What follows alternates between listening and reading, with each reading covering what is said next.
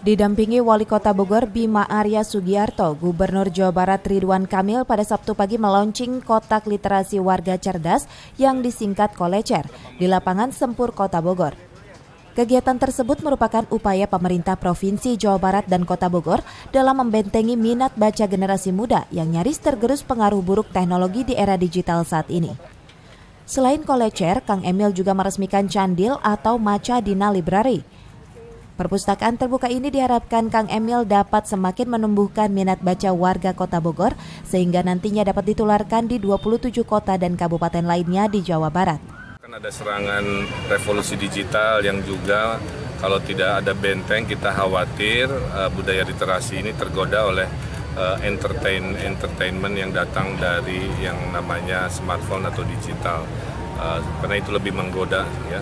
Uh, oleh karena itu kita lakukan upaya peningkatan indeks literasi di seluruh daerah di Jawa Barat.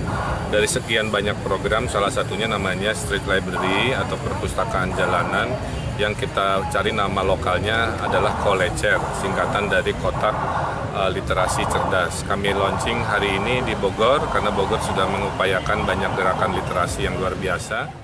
Kehadiran perpustakaan outdoor kolecer dan candil ini pun mendapat tanggapan positif dari warga, khususnya anak-anak dan pelajar. Saya sih baik aja kan ya adanya pojok baca ini.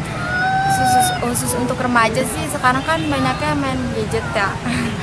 Jadi uh, kurangilah untuk main gadget. Jadi kan adanya pojok baca ini gimana ya jadinya menjiwai mereka gitu untuk uh, untuk lebih giat membaca. Usai peluncuran, Ridwan Kamil pun lalu meninjau lokasi bencana puting beliung di wilayah Cipaku, Bogor Selatan, Kota Bogor.